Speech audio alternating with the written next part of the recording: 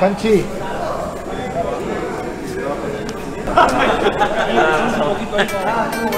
Qué bien está, boludo. Es hermosa. Sí, no sé cómo suena. Es divina.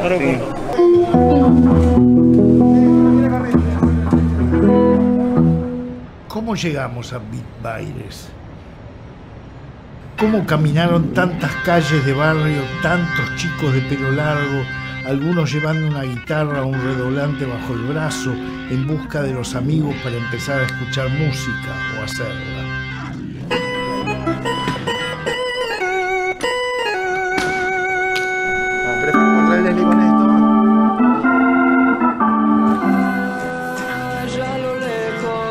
Los gatos salvajes venidos de Rosario en el 65 y los Duques grabando con Tanguito en el 63 y los Seasons y Billy Bond y los Shakers de Montevideo, todos pasando por la cueva donde Morris y Pajarito ya cocinaban los beatniks, Javier soñaba con Manal y Miguel pensaba en armar los abuelos de la nada. Los que van a la oficina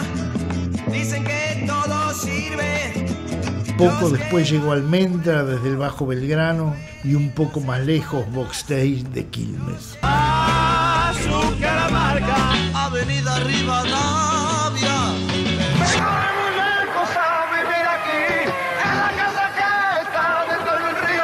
Vuelvo a buscar lo malo que es mío, es una promesa que digo. Al doble.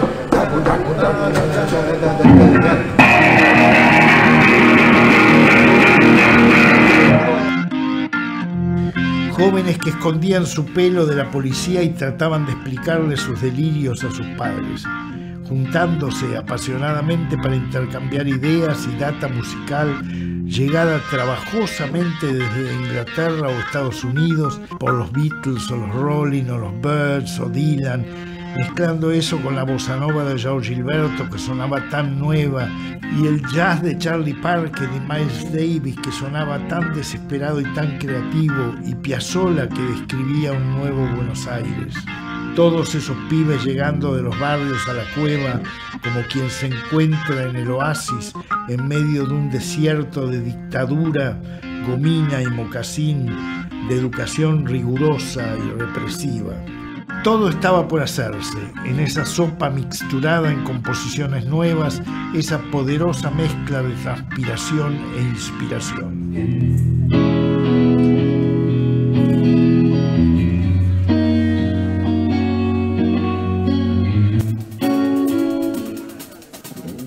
Perseguidos por el pelo largo y por la ropa rara, por vagos, escandalosos, de sexualidad libre y sospechosa, demasiado alegres y coloridos para ser permitidos por una sociedad gris y frustrada.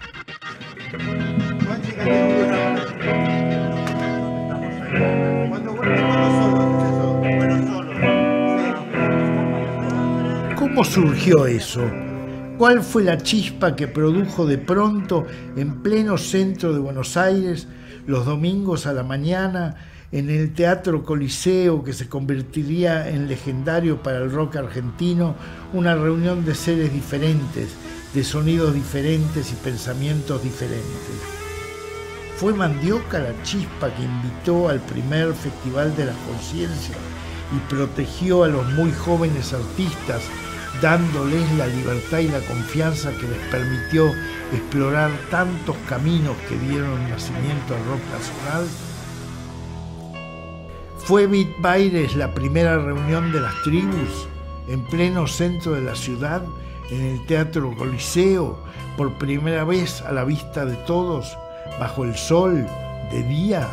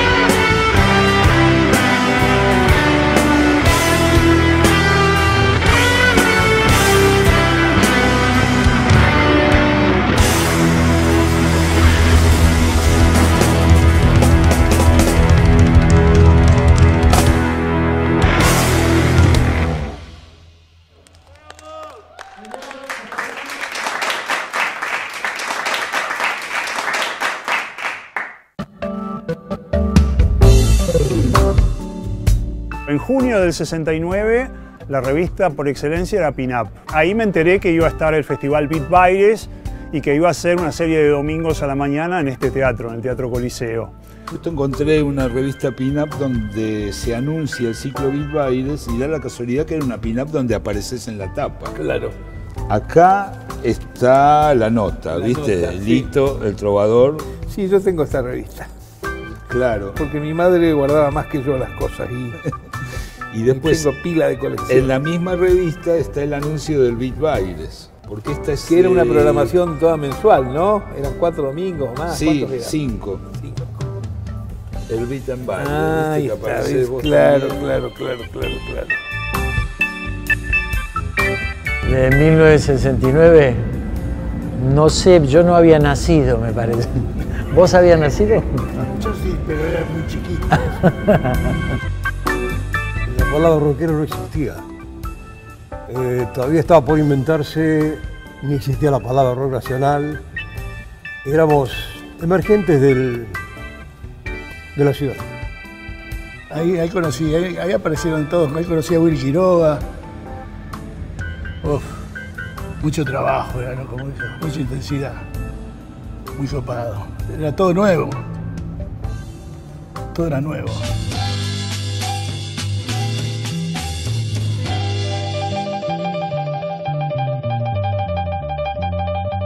La primera vez que vine a este teatro, nos tocó venir con Mandioca cuando se hacían los recitales al mediodía, a las 12 del mediodía. Yo vine en el 69, a, volví de Estados Unidos y, y vine a los, a los shows del Coliseo a las 10 y media de la mañana. O sea que tenía esa cosa medio familiar, digamos, que hasta podía venir un chico de 15 años, eh, venía con los padres. Y encima enfrente a la plaza, eh, qué sé yo, podía venir cualquiera, ningún padre iba a desconfiar y los dejaba venir. Porque no te olvides que era el comienzo de los recitales, que los que se hacían normalmente a la noche siempre se llamaba quilombo, siempre venía la policía y siempre terminaba llevándose gente detenida, jóvenes. A esa hora era ridículo meter un tipo preso, ¿no? A las 11 de la mañana. Así que fue una buen, un buen truco como para que la policía no viniera a interferir en ese concierto, que era una cosa rara. El otro día me quisieron matar con ametralladoras. Pa, pa, pa, pa. fue eh, la gran apertura de, del ambiente mm, del espectáculo porteño al rock. Son los cimientos del, del rock argentino, ¿no? El rock nacional y, y bueno, influenciaron obviamente a toda una generación que vino posterior. Tenemos eh, muy claro que es una de las piedras fundacionales, digamos, de- del rock argentino. Como que el movimiento de lo que pasó en ese momento y de todo lo que vino después está en nosotros, está, está en, nuestra, en nuestra sangre, digamos. Nada, fue tan, tan fuerte y tan importante lo que pasó en ese momento que yo siendo música, como sí o sí estoy influenciada, ¿viste? Son esas gestas ¿no? que, que se arman en distintos eh, ámbitos de la música. Eh, en este caso, bueno, el rock o digamos lo que iba a ser la comunidad rockera eh, se estaba gestando, era una cosa nueva. Por un lado, ellos tuvieron un gran mérito de hacer esas canciones en un momento donde nadie antes había cantado así en castellano. Eso es indudable. Pero hay algo que no es un mérito de ellos. Hay una sola primera vez en las cosas. Y esa fue la primera vez. Sí, yo creo que todo ese comienzo eh, fue mucho más popular de lo que quizás la historia cuenta. Y además lo que tiene el rock argentino desde aquel momento, que cualquier chico que esté descubriendo la música en este momento va a esa fuente. Acá la gente, todos dijimos, no, vamos a hacer nuestras letras, vamos a contar lo que nos pasa a nosotros los argentinos, lo que se nos ocurre, lo que nos gustaría que fuera.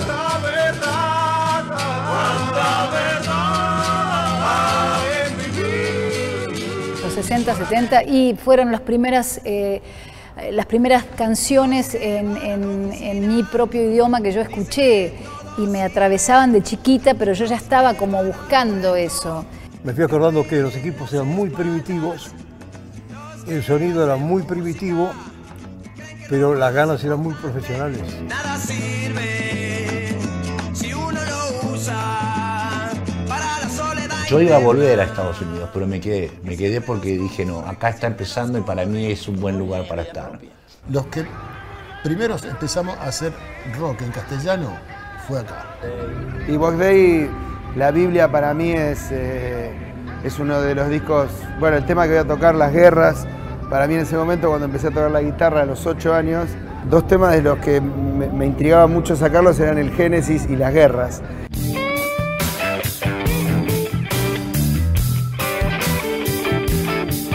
Y las guerras era tremendo, ¿no? Esa cosa que empieza en un mi menor, tum, tum, pa, pum, pum, pum.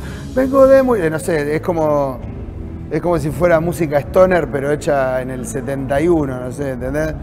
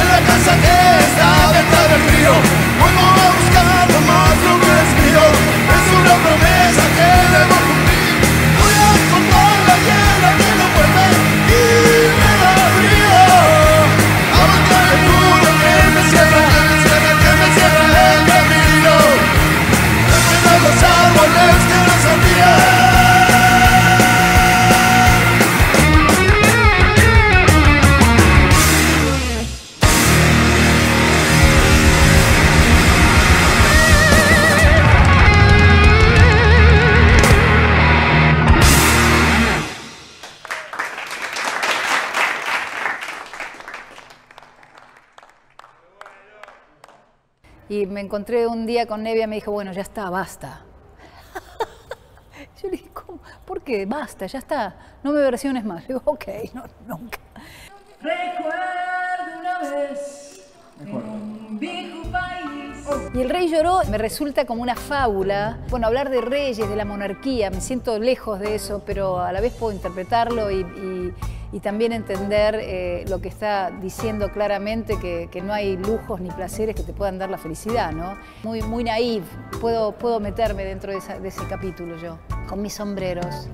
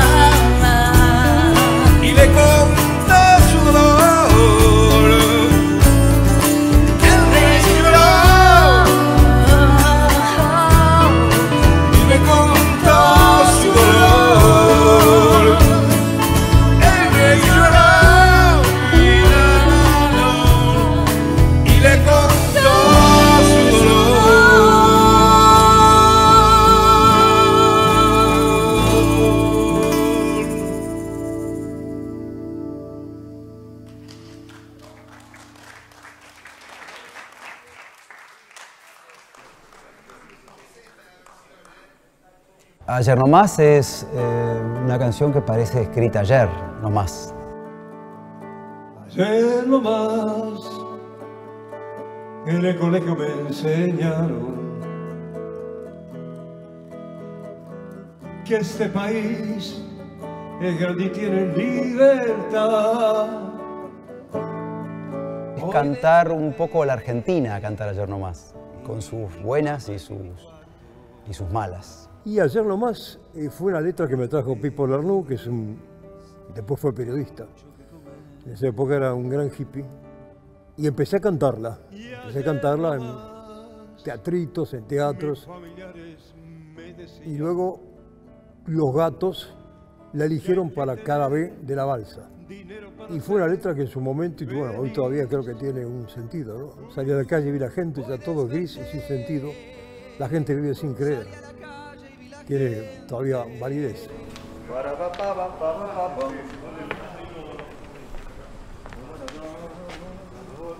Sillitas, sillitas. Ahí, mira, ahí, ahí veo que tenemos otro lugar. Ayer nomás en el colegio me enseñaron que este país es grande y tiene libertad. Hoy desperté y vi mi cama y mi cuarto. En este mes no tuve mucho que comer. Ayer nomás mis familiares me decían que hay que tener dinero para ser feliz. Hoy desperté, salí a la calle, vi la gente, ya todo es gris y sin sentido. La gente vive sin creer. Oh, oh, ayer nomás tuve una chica en mis brazos y la besé sin fundamento. Hoy ya la chica ya no está. Ayer nomás en el colegio me enseñaron que este país es grande y tiene libertad. Ayer nomás, ayer nomás, ayer nomás, ayer nomás, ayer nomás, ayer nomás.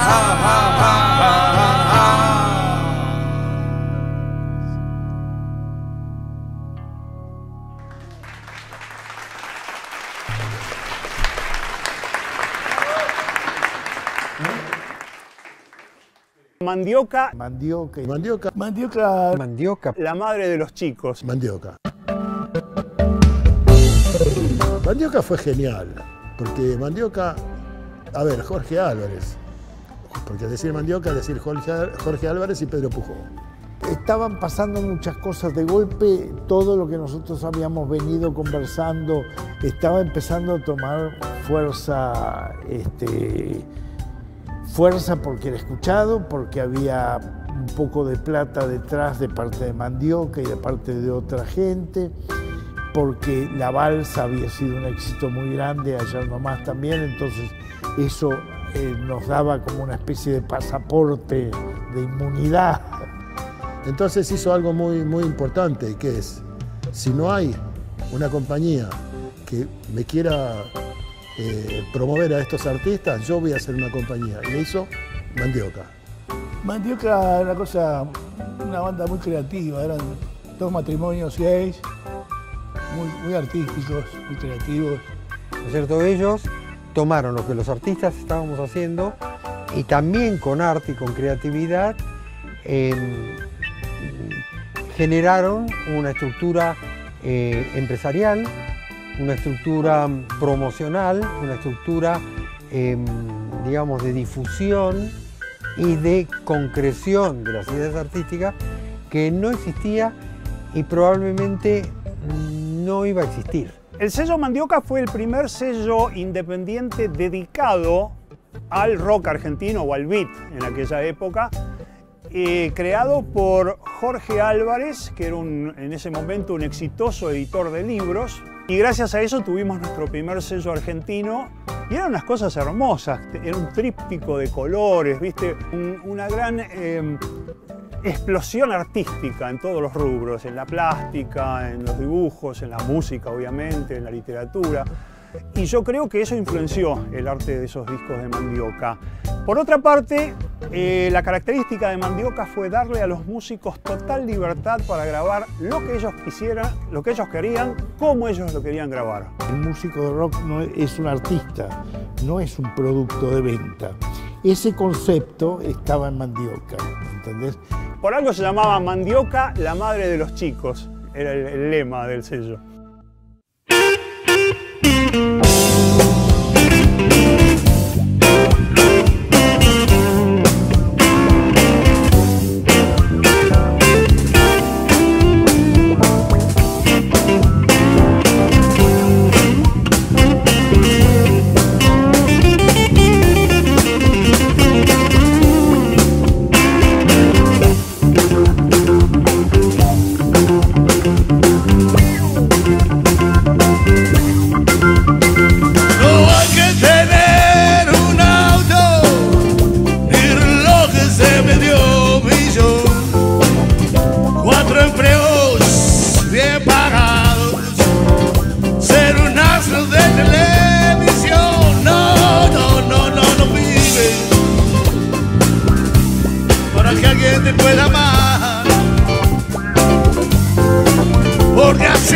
así solo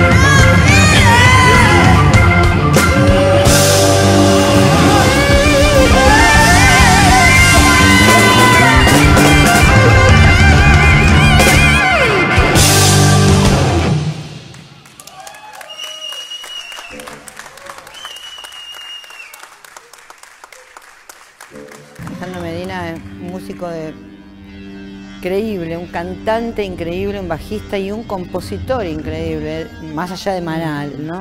Un gran amigo, durante muchos años él me, cuidó mucho cuando yo era chica. Yo caminaba por los escenarios muy pibita y él me acompañaba, es decir, yo lo acompañaba a él. Pero siempre tengo un recuerdo de alguien que me protegía, de que siempre me cuidaba. Y Gabriela la conocimos porque era la mujer de Delmiro Molinari, porque lamentablemente las mujeres era como un poco así. Por eso yo eh, tengo esta personalidad que todo el mundo dice, eh, qué heavy, qué tuya. Y lo mal que lo pasó Gabriela, porque eh, también estuvo eh, en el festival en el Bar Rock y no la pasó nada bien. eh, y, y- y, bueno, y cuenta todo eso- ese anecdotario de lo que ella renegó del ambiente del rock en Argentina. Un poco le pasó a Gabriela, como un poco le pasó a María Rosa y a un montón de cantantes, que si no, no hubiesen llegado si no fuera porque también era la mujer. De alguna manera no les daban bola a las minas que cantaban rock.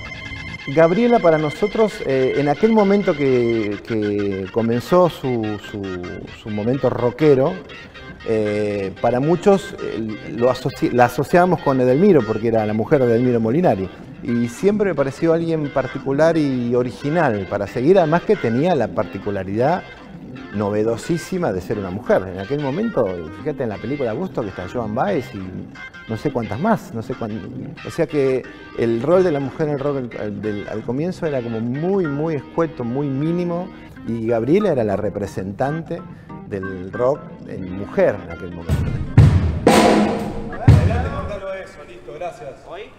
Llegó un mensaje de Gabriela que estamos esperando hace rato. Se lo voy a mostrar a Feli. Tremendo. Escucha. Escucha. Quiero mandarles un saludo muy grande para todos los participantes del homenaje a Vic Baires. Soy Gabriela. Agradezco mucho que incluyan mi tema Voy a dejar esta casa, papá. Me llena de orgullo que las músicas más jóvenes de esta época hagan covers de este tema. Gracias, Feli. Te mando fuerza y amor y muero por escuchar tu versión. Tengo que decirte algo. Tengo que decirte algo, papá. Tengo que decirte algo. Voy a dejar esta casa, papá. Voy a dejar esta casa así. Desprenderme de tus alas, papá. Desprenderme de tus alas. Hay un hombre esperándome afuera, papá. No, no quiero verte llorar. Y te besaré la frente, papá. Te besaré la frente. Ni una lágrima derramaremos, papá. Ni una lágrima derramarás. Tengo que decirte algo, papá. Tengo que decirte algo. Voy a dejar esta casa, papá. Voy a dejar esta casa así. Desprenderme de tus alas, papá. Desprenderme de tus alas. Hay un hombre esperándome afuera, papá. No, no quiero verte llorar.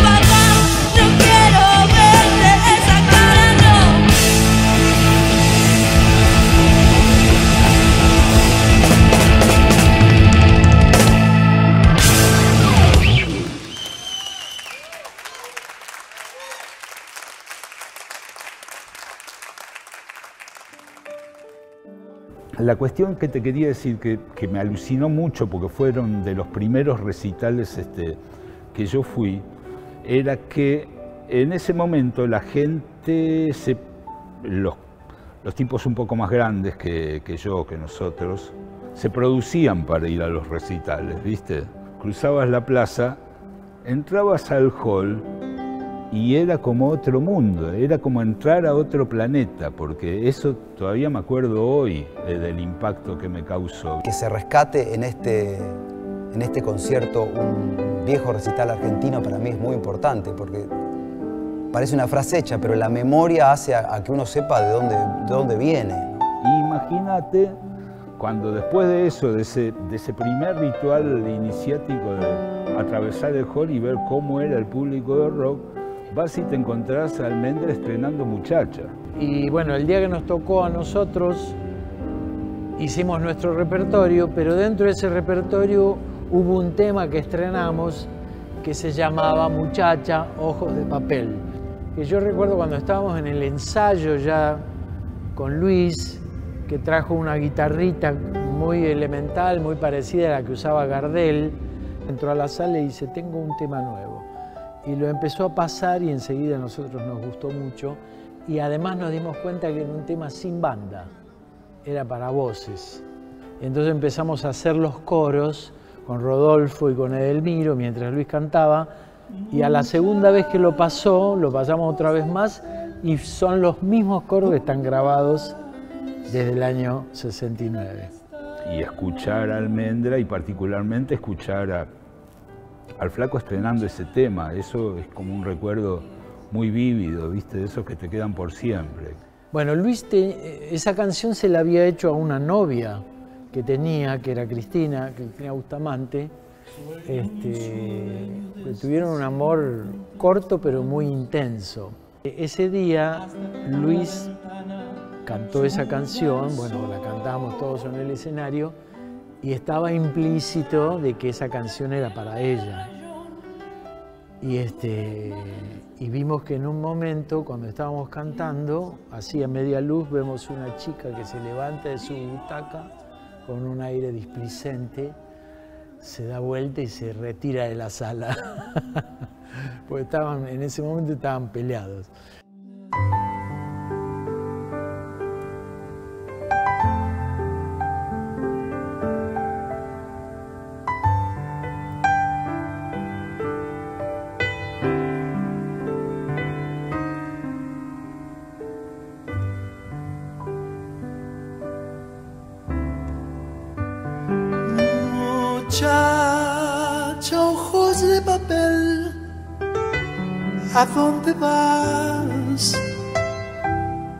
Quédate hasta el alba.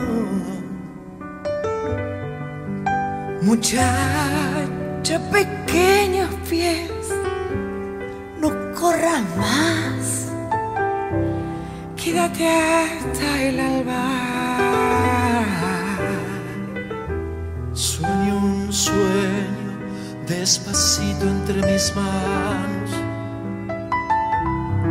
hasta que por la ventana sube el sol. Muchacha, piel de rayón, no corra más. Ah, Tu tiempo es hoy. Y no hables más, muchacha, corazón cuando todo duerma, te robaré un color. Y no hables más, muchacha, corazón de tiza, cuando todo duerma, te robaré un color.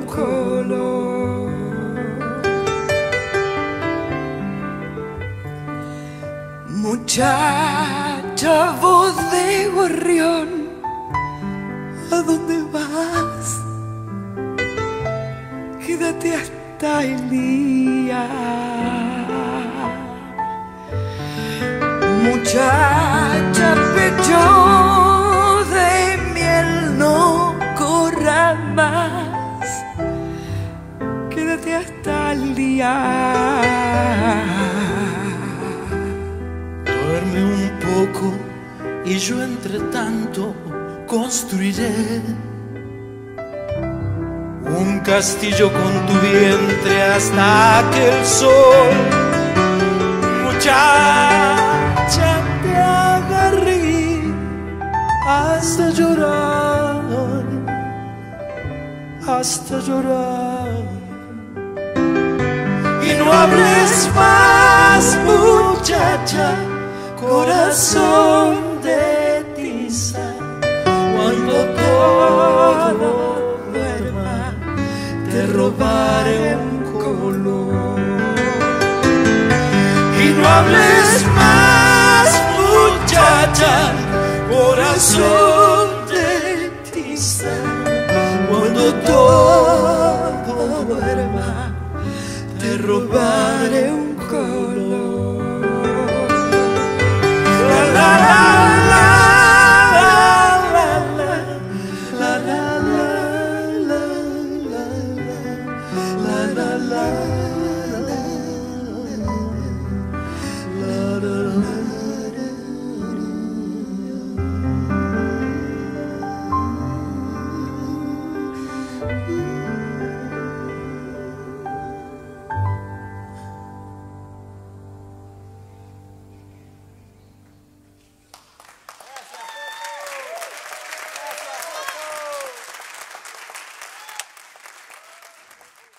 Bueno, tener 14 años, ser joven en la Argentina del 69, eh, era una mezcla de sensaciones, porque por un lado estábamos bajo un gobierno militar, que era el Onganiato, ¿no? La- la- el gobierno de facto que había empezado en, en el año 66. Había que resistir a una represión brutal, a un gobierno dictatorial. Porque Argentina nace al rock en el, en el momento en que el rock, que el mundo explotaba, que el rock explotaba, acá un, en un país revolucionado, con gobierno de onganía. presionaba mucho, eh, perseguía la cultura, perseguía lo diferente, perseguía la juventud. Ya en esa época, en el 69 y en esos años, se perseguía el hecho de ser joven. Siguen sacando jóvenes que según se dice venían a hacer un concierto musical. El flaco que andaba de pelo largo por la calle, 12 de la noche, 1 de la mañana, 2 de la mañana, era como presa fácil del patrullero que te decía, venga para acá, usted, a ver, te pedían documentos y te, y te llevaban preso. Iba preso por la pinta que tenía y por lo que se supone que esa pinta significaba en mi pensamiento, ¿no es cierto? Es decir, Y claro, había censura en los medios, eh, había censura en muchas partes, pero de todos modos cuando tenés 14 años este, igual disfrutás de la vida, ¿no? Y yo estaba empezando a, a enterarme de qué era esta cosa del beat nacional, porque todavía no se decía rock nacional. Yo creo que era la apertura a, a un cambio en todos los sentidos. Realmente es- el mundo estaba cambiando y se veía como, como algo muy próximo, ¿no? Lo que sí teníamos todos conciencia, porque digo todos de todas las bandas que participaron, que estábamos con una energía muy grande y una convicción, pero con muchísima certeza de lo que queríamos hacer. Pero no teníamos eh, idea de la proyección que iba a tener con, con el tiempo. Nuestra idea era, digamos, cambiar, si es que se podía, con nuestra música, algunos de los comportamientos de nuestra sociedad, que, bueno, que tenía bastante rechazo a esa cultura que nosotros estábamos desarrollando, ¿no?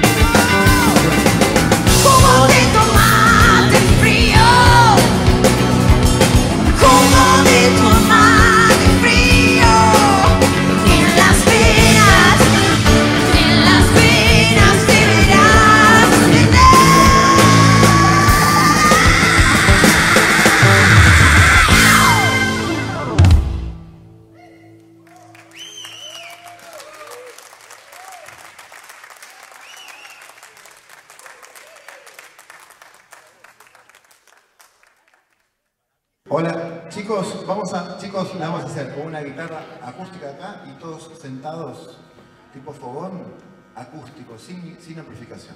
Pero estuvo linda Es un quilombo, boludo. Bueno, este es un homenaje para ustedes que son los, los que no- nos marcaron el camino, los que abrieron el camino, los que hicieron ese show histórico acá y tantos más que recordaremos siempre, que los llevaremos en el corazón y que se irán marcando y marcando y marcando y inspirando a generaciones. Así que la palabra es gracias. gracias a ustedes.